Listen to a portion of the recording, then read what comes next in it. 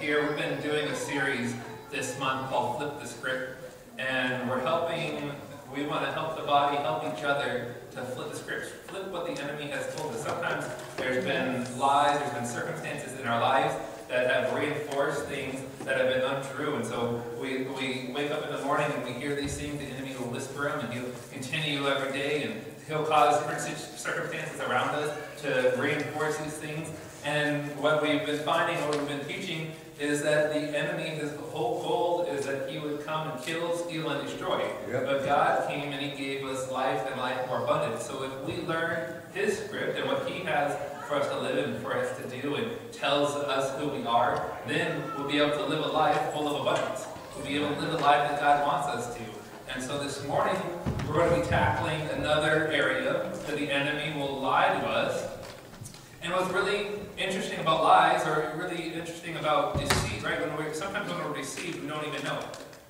You know that, right? So if I'm deceived, if, I, if, I'm, if I'm believing a lie, if I believe that every time I eat carrots, my eyesight are going to, my eyes are going to get better, I'm going to continue to eat carrots, even though we know that that's actually not true, right? And so sometimes the hard, hard part is we, we're deceived and we don't even know it. So that's why we need the body to yeah. be around us and surround us and remind us, hey, remember what the script says? Remember what the Word of God says in this area? Or, hey, is that really true about God? Actually, I think you might be believing something that's wrong. Maybe the Satan has gotten a hold of who you are. So this morning we're going to learn about this lie, this script that sometimes we follow that says that we deserve to be happy. This is the hard one, right? Why, Andrew, why do you have to go there? But especially we know, and maybe even in our uh, America, growing up in America or coming to, to America, we know that in the land of America, it's, it's the pursuit of life, liberty, and the pursuit of happiness. We have a whole constitution protecting our ability to pursue happiness. And so it becomes who we are, that, hey, I want to, some people even, hey, I want to move to America because I know I can pursue my happiness. But everyone, I believe everyone that has believe this lie or follow this script that I deserve to be happy has done something that God didn't want them to do. Yeah. Because they believe a lie, hey, I deserve to be happy. Let's turn, uh, first scripture this morning is 2 Corinthians chapter 2, verse 11. And we got to remember, as we're going through these flips of scripts, these lies, they don't, they don't um, have power over us unless we believe them to be true. Right. So this is, remember, these, these are lies, they're things that are false, but they only become power over us, only hold power over our lives if we believe them to be true. And when we do, then we find out sometimes we get into some messes. But on 2 Corinthians chapter 2, verse 11, we just wanted to remind, remind us that the reason why we're going to the script is because we don't want to be unaware. See, verse 11 says, In order that Satan might not outwit us, for we are not unaware of his schemes. So we don't want to allow these lions to rule over us because we don't want to become unaware that the enemy has a scheme, and his scheme is always to destruct, to kill, and destroy, right? To kill, steal, steal and destroy. So we said, no, as believers, we need to we need to know the script, right? So we talked about in um, the first message that we need to read the script. We need to research the script. They take some time, like the Bereans, right? They said everything that was said, they looked up and searched out. So we need to read the script, research the script, and even rehearse the script. And we talked about, you know, some, some of us did theater. I did theater when I was in high school, and I remember, you know, we had to read the script, memorize script. And it wasn't just your parts that you had to learn. You had to learn everybody else's, so you knew your part in the play. And, and hey, even you could help out, say lines of other people, right? So we, we need to know the script if we're going to be able to overcome these lines.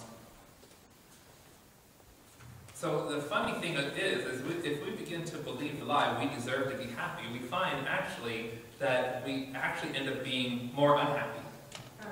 Do you guys ever notice that? Sometimes I, I go after something that I, I believe is going to make me happy. Once I get that, I, I become unhappy.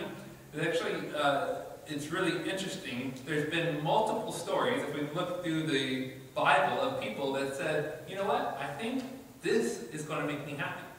And when they did this, or they did that, it was opposed to what God planned for their life.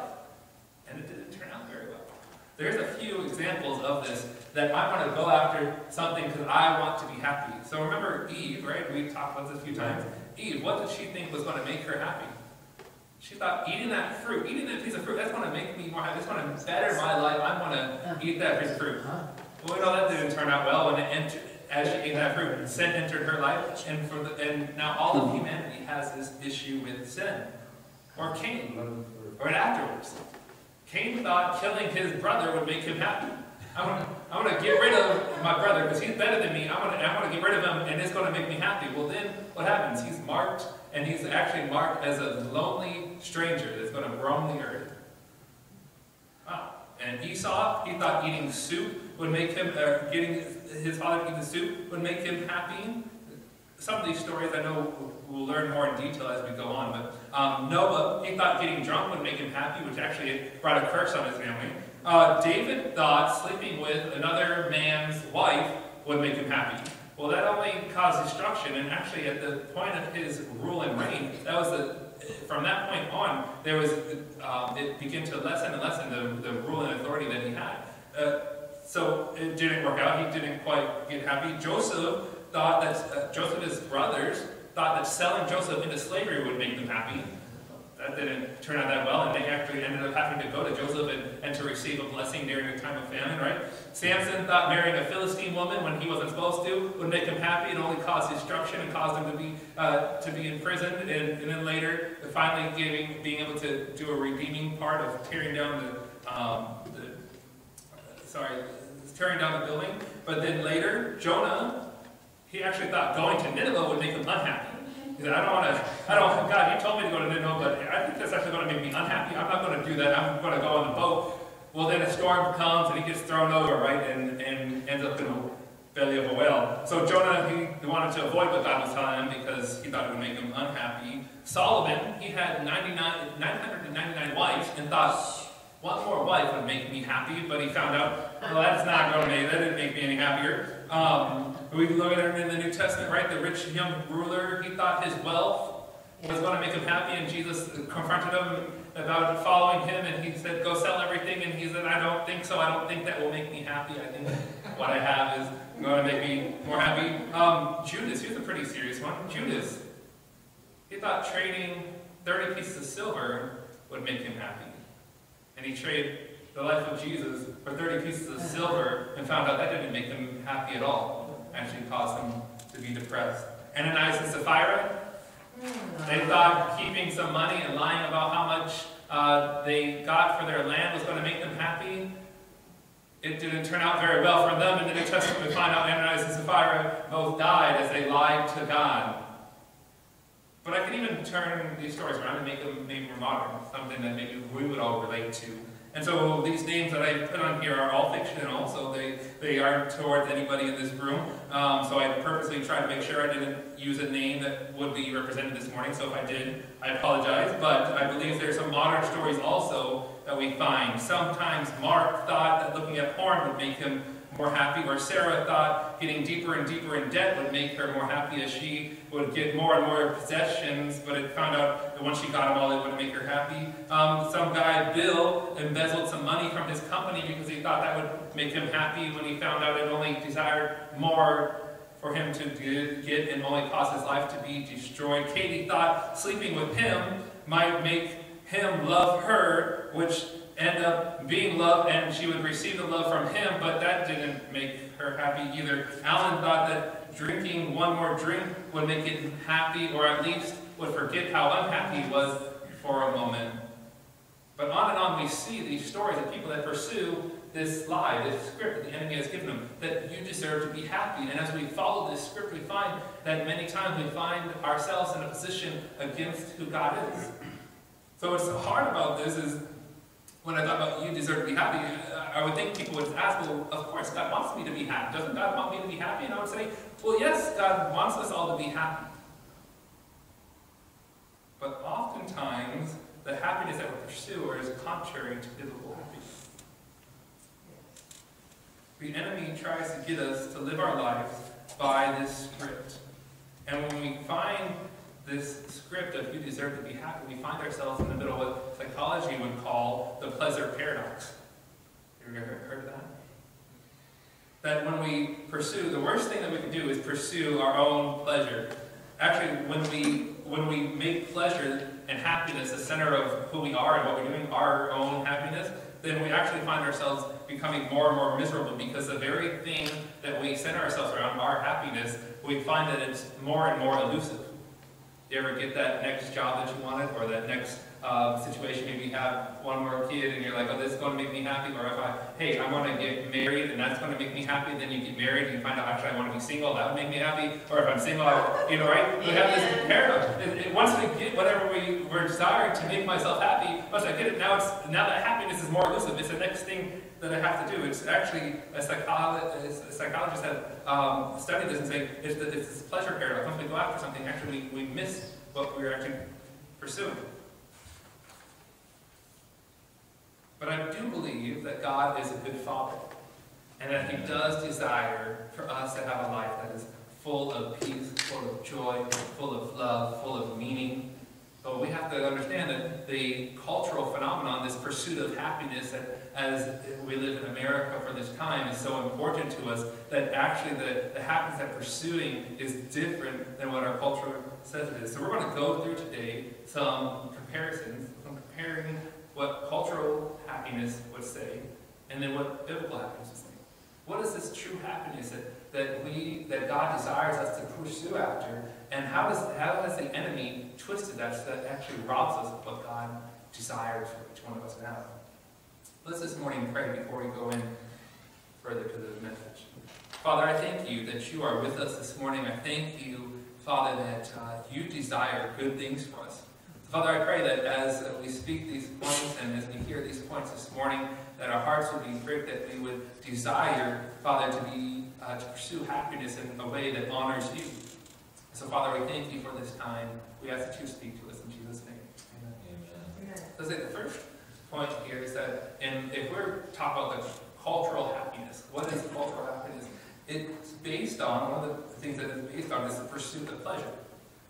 So we talked about this. We want to do anything that would make us happy, that I would enjoy that moment. And, you know, if we talk, if we're really honest this morning, we talk about the different areas in which we pursued happiness or we pursued our own pleasure. I would say that momentarily it does give us some pleasure. I remember when I first got married, I was saying this morning, I loved um, having a really nice TV.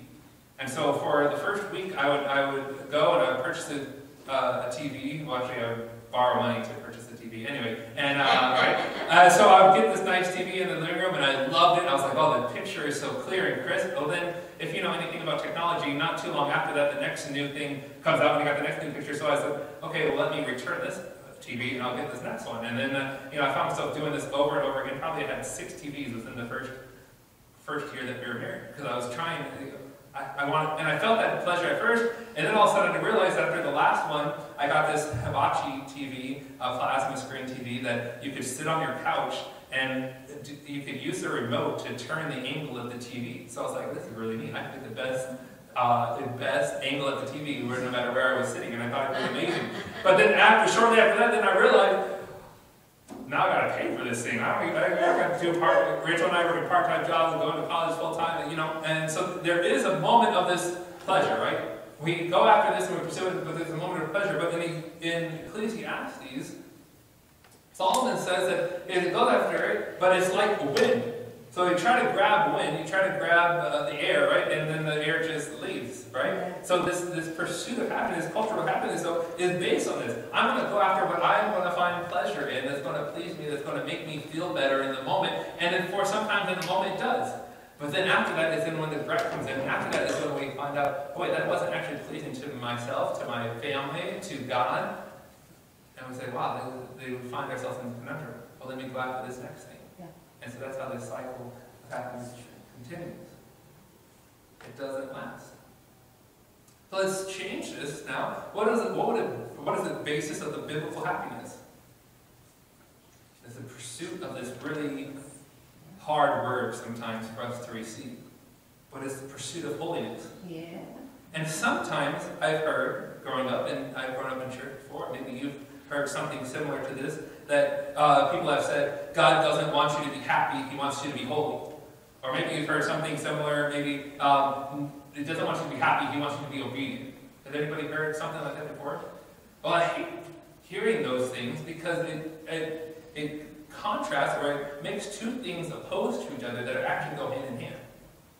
So if we say that God doesn't want you to be happy, He wants you to be holy, He actually, His holiness brings happiness. That's right. Yes. So sometimes we have believed for a while, oh, if I have to be holy, then I'm going to have no fun. If I want to be righteous or I'm going to be like God, it's going to be no fun. It's going to bring no pleasure to me. Well, that's completely opposite. Actually, it says that if, in Matthew chapter 5, right? It said, blessed or happy are those who hunger and thirst after righteousness. For what reason? They will be filled. That's, Amen. that's right. So if we're pursuing, if we're, if we're in a pursuit, all out pursuit of who God is and what He wants for my life, that's actually going to bring us the most happiness that we can have. It's going to bring us the most joy that we can have because we're going to be in cooperation with what He, how He has designed us to be. See, culture tries to pin us against ourselves and say, no, pursue everything you want, that is going to bring you pleasure. And the Bible says, actually, no, no, you're living for somebody other than yourself, and that brings you happiness. Your pursuit of holiness actually causes you to be filled. Let's turn to Psalms 1. Psalms 1 is this amazing chapter that, again, reinforces that our happiness is found when we are pursuing after God.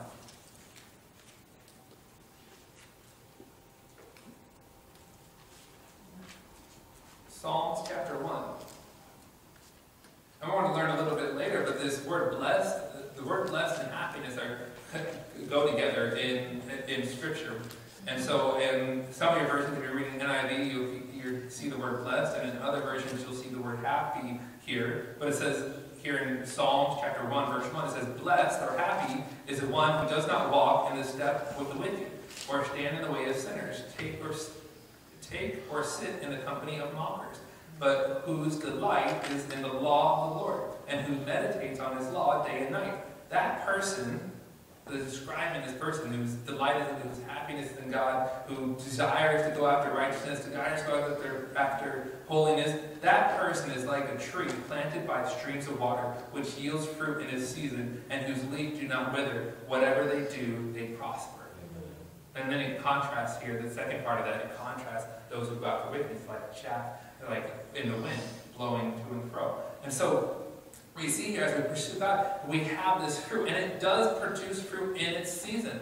So we have this hope that in season there is going to be produced. Sometimes, if we learn, we're going to learn in the next couple points that you know Paul found himself in unhappy situations, in prison, he shipwrecked, beat, all these kind of things. Well, what is it about a person that pers- is pursuing God? That they're like a tree, that even in, in the midst of hard situations, there's still life in them. There's still a joy, there's still a happiness, and I can go through situations, and there's still this happiness because I know I'm going after something that's going to give me what I need.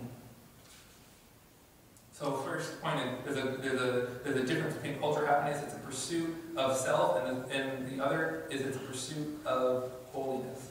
So let's look another thing that cultural happiness is based on. It's based on circumstances.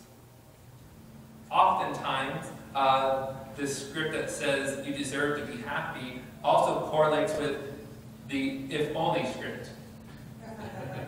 right? So if only this situation would change, if only this would, if only I had a better job, if only I had a different house, if only I had a better family. Uh, no, anyway. Um, so if only I had a, a baby, if only I had health, if only this, if only that, I would be happier.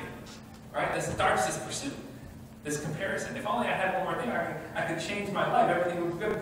But what we find here in America, uh, here in America, that in um, if we did this survey of happiness, that we actually are a less happy people now, even though we have more ability Yeah. to, to get things. The, the people are now ten times more likely to be depressed if you were born after 1945. Uh, there's a little, little, uh, a little time frame there, but after you're ten times more depressed than to be uh, than the previous generation. So you're you're more likely to be unsatisfied with what's going on in your life now, even though there's more things for us to get and to get and to change, right? Wow. Because when we think about our circumstances and we always say, what is one thing? It's always greener on the other side. We always have this idea that if I could only get that one more thing, it's going to satisfy me. But here is the foundation of a biblical happiness is that our, our happiness is based on Christ. Amen. So as a believer, it's based on Christ. Why is that so foundational? Why does that change when we think about happiness? Why does that change the results, our feelings, our emotions about things? Because Christ is the one that cannot change. He does not change. He's the same yesterday, today, and forever. He can't change. And so when we base our, our happiness, our joy, our, our all of who we are on Him and our relationship with Him, it changes things. Let's look at Philippians. We talked about Paul. Let's turn there. Paul, man, he went through some stuff. Right? Yes. Look at Paul's life and said, okay, I think I got it easy. But Paul in Philippians chapter 4, we're going to start in verse 11. Been through some stuff. Anybody else been through some stuff? Yeah. A little bit. We live life. Y'all, y'all are living life. All right, Paul. He's in uh, Philippians. It says, this in verse 11. I am not saying this. Okay, let's 10. Start 10. I rejoice greatly in the Lord that at last you renewed your concern for me. Indeed, you were concerned, but you had no, no opportunity to show it. So I rejoice in that. I am not saying this because I am in need, for I have learned to be content, content in whatever circumstance I'm in. I know what is to be in need, and I know what it is to have plenty. We know that to be on both sides of the coin. I have learned the secret of being content in any and every situation, whether well fed or hungry, whether living in plenty or in want. What is the secret? I need, I need to know. What is, what is the secret? 13. I can do all things through him who gives me strength. So Paul has put his life, his foundation that he stands on is Christ himself. And he knows that when I have this relationship with Christ, then no matter what may come my way, it's not going to move me. It's not going to change me. I could be high, I could be low. I've had all the different circumstances. I've been, you know, if we go into story, prison. I mean, he, said, no, my foundation is Jesus. And I know when I'm, my foundation is on Jesus, there's nothing that can happen, no circumstances that can surround me that can rob me of my joy. Right? So no mechanical issues on your car, no breaking of your fridge. My fridge broke last week and we lost all the food. And we had actually had, and we live in an apartment, we're on like the bottom floor, and so the pipe, the drain pipe for all of the apartment is right underneath uh, my apartment.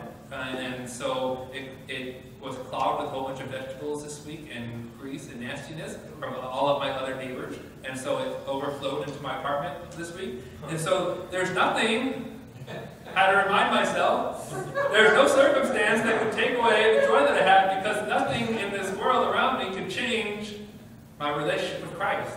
Amen. That He's for me, that He's my strength. It's testing sometimes. It's testing last week when the hailstorm came through, and all I could do was just watch my car out there pelted with hail, and you know, it's testing. When the professor didn't tell me what the paper was due today, or the test, or my wife is this, or my husband's that, or my child's not going to be quiet here, and I want them to do this, and but my relationship with Christ is my strength. It holds me. It shape my happiness. A nice New Testament scholar that says this about our happiness. our happiness is described or described that joy which has its secret within itself, that which is serene and untouchable, a self-contained, that joy which is completely independent of all the changes and dangers of life. Kind of happiness we have when we know our relationship with God cannot change. It cannot alter. It cannot be shaken. It can't be taken from me. If the enemy wants to kill, kill, steal, and destroy, the one thing he can't touch is my relationship with Christ that never changes. In John 16, 22, uh, Jesus encourages his disciples. He tells them, hey, I will see you again, and you will rejoice. No one will take away your joy. So we know that we have a hope that Jesus is returning for us. Our security, our future is secure in Him. And so when we hold on to that, man, nothing can rob us of that joy. I know Jesus will come back for me. I know my relationship with Him is secure. I know, and nothing is going to shake me. Amen. And Jesus spoke those words to disciples, and each one of the each one of the disciples were executed for their faith. No, I mean, like I can understand that. Like I, I, I don't go through that. Okay, I talk about the drain messing up and the fridge breaking, and maybe I had to pay an extra money on my grocery bill this month. But when Jesus was speaking to his disciple, he was telling them, hey, you're going to face death for me, but nothing's going to rob you of your joy because you will see me. We will see him, and nothing can rob us of our joy, of our happiness, when our, when our happiness is based on a relationship with Christ, right? So let's look at the next couple um, things. Our cult, uh, cultural happiness is often fueled by comparison. Oh, I hate that. Yes. Right? So my life compared to everyone else, and as Pastor was mentioning last week, the hardest thing is, is when now that social media is so popular, we often compare ourselves to other people's best. Right? We don't, he was mentioning, right, when you post on Facebook, right, we don't put up like the I just woke up uh, pictures, unless it says I just woke up and I have makeup on still, or I have my hair perfect, right? Then we can, then we, then we, we post those. We, we, we always post the successes in our life, right?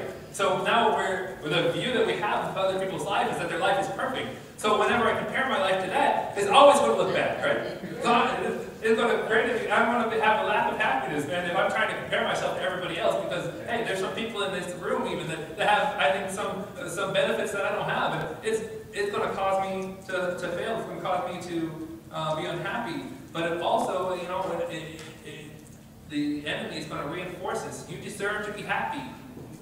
You deserve to have that life. You deserve to have what everybody else has. Go after it. And it's going to encourage us to work after that thing that we can't actually uh, obtain ourselves. It robs us of our happiness when we actually try to compare ourselves to others. Now, on the flip side, biblical happiness, if, if cultural happiness is fueled by comparison, biblical happiness is fueled by gratitude. I'm going to be thankful in all circumstances. Mm-hmm. So I'm not going to be thankful for, I'm not going to be thankful for all circumstances, right? I'm not thankful that my drain overflowed or my fridge, right? That would be great. But in all circumstances, I want to be thankful. God, thank you, God, I have a roof over my head. May not be perfect. I may have all sorts of neighbors that cram things down thing. And God, I'm grateful I have a place to stay. God, I'm grateful for my family, and it changes our perspective on. Now, I don't want, to, when in saying that, I don't want to make light of the situations we're going through.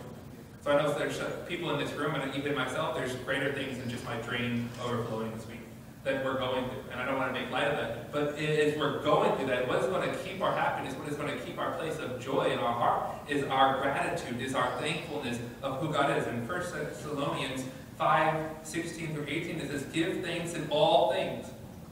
In all things. I want to give thanks. I want to be thankful. God, there's so many things. There's a study by um, Emmons and McCullough's says they, they took two groups of people. Is that each one of you guys are going to keep a journal. The first journal you're going to keep, and you're going to write down everything that makes you happy. Everything you spot that you're thankful for, just write it all down. And the other group, maybe sometimes I'm in this group, but they're going to write down everything that annoys you. Just write it down. Just keep track. Everything, one group, you're, all everything's thankful, gratitude, you're thankful, thank and the other side, okay, you're to be, uh, everything's going to be annoying in my life, everything that annoys me and gets on my nerve, just keep track. And so as they, as they, as they studied this out, they, um, they found, it's pretty obvious, I think, as, as we're believers, but they found that those who um, took note of everything that they're thankful for, everything that they have gratitude for, they, they found a whole bunch of increases in their life. They said that they increased their energy, their enthusiasm, they were less depressed, they were more happy, their, their, even their countenance was more full of joy. And some people maybe, maybe look to your neighbor, you know, right, and say, hey, maybe you need to be more thankful, right? Uh, uh, maybe get some happiness on your face again. Maybe better than uh, some beauty sleep would just be to be grateful. The script will try to convince us of our, that our happiness will come when we compare ourselves to others. Rather, as biblical believers, we would say that I have the happiness I have, the greatest happiness I have, I have it right now in Christ. Mm -hmm. We're going to come back to a strong truth at the end that's, that's powerful. But in Philippians uh, 4, verse 7, it talks about bringing all of our needs, all of our prayer, all of our requests to God. And he says to do it all in thanksgiving. And what will happen as we thank God for these things? It says the peace that passes understanding will guard our hearts and our minds. As a grateful, if we if we stay in an attitude of gratefulness, then it changes who we are. It brings peace into our life. It brings joy. We get to experience. We know that the greatest thing that we could ever give, we have. The greatest thing we could ever get, we have. And that's Jesus.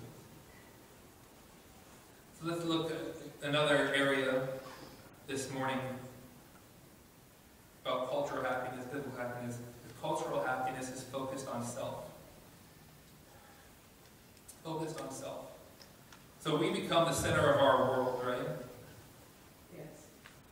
In our culture specifically, right, it's exalted this idea of individualistic uh, nature of things. That I, I'm, I am the center of everything. Like I exist to please myself. I exist to be happy. I exist to succeed. I, I exist all the things. And as we focus on that as, as the culture of happiness, then of course I'm going to pursue the things that may oppose who God is. Right? Remember that lie. It, it does sound good. We deserve to be happy. But God wants me to be happy. Right? But oftentimes when we pursue, continue to pursue that for self, then self gets in the way. Then we begin to do things that are opposed to who God is. Mm-hmm. And that's when our, our happiness is altered, because then we find ourselves in a mess. But when we pursue God and, and for Him and for others, then all of a sudden it changes and our, uh, our happiness begins to increase in our lives. In Hebrews chapter 11, verse 24 and 26, talked about Moses. And it says this, he said that he chose, if we choose God, our that he chose God over the fleeting pleasures of sin and looked ahead to the great reward.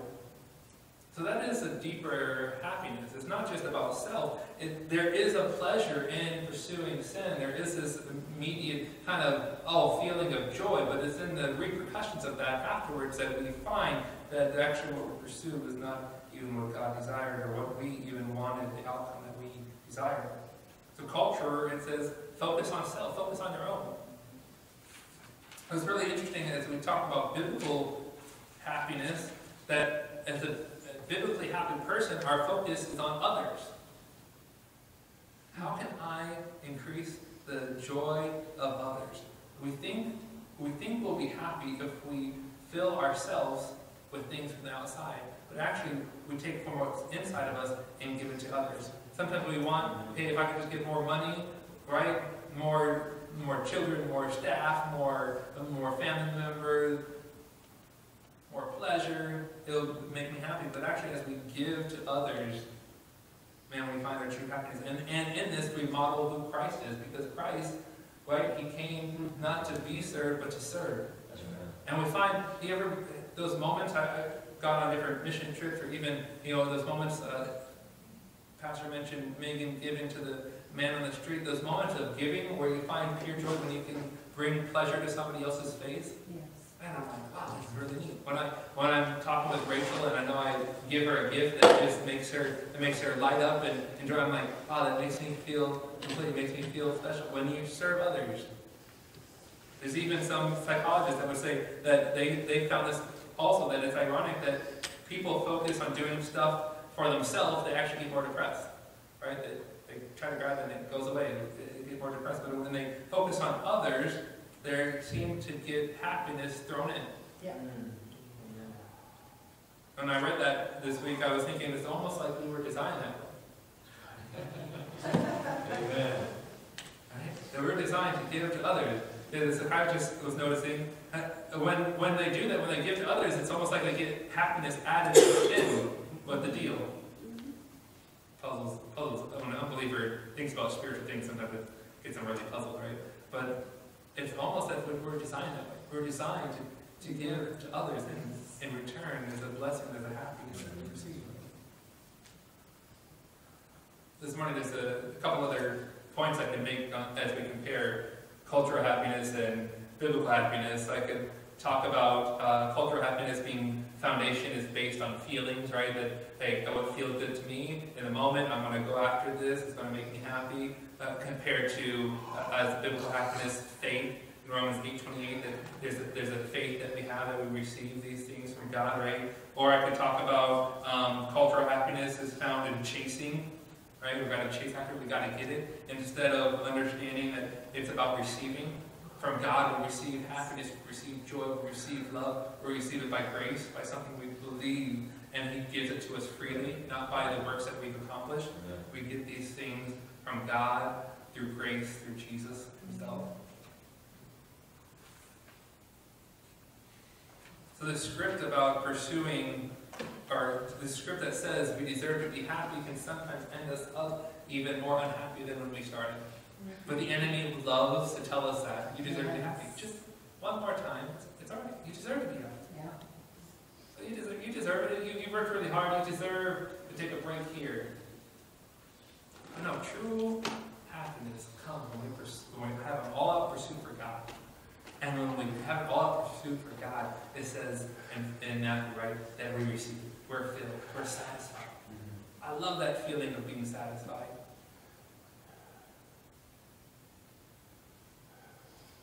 So I was thinking as I was, as we've been um, learning these messages, flip the script. Um, and like we said, we've been listening to some other preachers also that have been saying this. And I love the way one of them summed up this whole lie about we deserve to be happy. So when we talk about we deserve to be happy, um, what truth can we believe that would help us flip this? Well, one, we can think about like all of these, all of these good scriptures that we just read today, and yeah, okay, I want that kind of happiness. That, hap- that happiness is what I desire. But really, the truth that will help us flip the script is that we don't deserve to be happy. We deserve to go to hell. It's true. Nobody's laughing at that. It's true. So we don't deserve to be happy. Our, our, our plot in life is as our plot in life, because of the sins that we've done, because of the things that we've committed against God, is hell, is death, right? Romans. The wages of sin is death. Now, if I just stop there, I don't think too many people would pursue biblical happiness. I think that really just all depressed. I'm like, Andrew, you're not trying to make us depressed this morning. You're trying to build us up, right? I said, yes, I'm trying to build us up and encourage us. Because if we just stop there, it's not the whole story, right? So yes, we don't deserve to be happy. We do deserve hell. We do deserve death. But the whole picture is that Jesus saved us, and that way we should be happy. Jesus saved us, and He took away this penalty of sin. It gives us this solid relationship with Him. It changes everything about who we are when we submit our lives to Jesus. All of a sudden, everything changes. And it's not about me anymore. Man, I have peace and understanding because I know my future is secure. I know I have I can go through my day no matter what the circumstance is because I have the power of God that's living inside of me. The same power that raised Christ from the dead is now in me. Amen. No matter what I face in this world, I, it won't overcome me. I have Jesus. Amen. Gospel gets really exciting because it changes who I am. I don't have to be the statistic that says I'm going to be more depressed and less happy than the previous generation. No, I can have the happiness of God because I want to pursue Him. And I want to be like a tree planted by water that, that won't grow weary, that won't faint. i that's the kind of relationship, that's the kind of life that God desires for me when we begin to believe His script over the script of the enemy. So this morning, in closing, I wanted to talk about two areas of response to this. One, when we talk about this happiness that comes from Jesus, it comes when we receive Him. When we say, you know what? Jesus, I desire to live for you. He's done this on the cross. Jesus Christ, the Bible teaches us, the whole gospel is that we were born sinners. We, we have all sinned and we've all fallen short of who God is. But when Jesus came, He gave us life. And He removed the penalty of our sin. We had a penalty to pay, but Jesus paid it for us. He died on the cross in my place, and in your place. And when we receive that forgiveness that He's in, and make a decision to, to live for Him every day of our life, to live as Him as King of my heart, his, the reward that we have in him is eternal life. It is life and life more abundant. Oppose the, the enemy. The enemy says destruction, but in Christ and Jesus, we have life and we have it abundant. Holiness is not opposed to happiness. Holiness is that. So when we submit our lives to Jesus, maybe it looks daunting at first because, hey, I, I, I think I'm kind of happy with where I'm at. But when we trade it for what He has, our, our, it changes everything and He gives us the best. So this morning, maybe you're in the boat and you said, you know what, I, I have never submitted my life to Jesus. Never made that decision that, hey, I want to follow Jesus with my whole life. I'm going to give up my own pursuit of happiness and I'm going to, I'm going to receive the pursuit of happiness that God has for me. Maybe you're in that boat this morning and you need to make a decision, hey, I'm deciding to follow Jesus today. But the others, others of us in this room, you, you may have been hearing the sermon, you maybe God, the Holy Spirit was speaking to you and He was telling you, you know what? You've been pursuing happiness on your own. You've been pursuing happiness apart from me. And maybe you were quick to realize destruction that has come to your life because you pursue happiness apart from what God desired for you. And this morning you would say, Yeah, Father, help me to pursue happiness, biblical happiness, happiness that is pleasing not only to you, but actually brings me true peace, bring me true joy, bring me true love, bring me true experience of your blessings. And you need to take time this morning to pray and say, Father, forgive me for those times that I have pursued my own happiness apart from your happiness. Mm-hmm. So this morning, let's bow our heads as we respond to the word.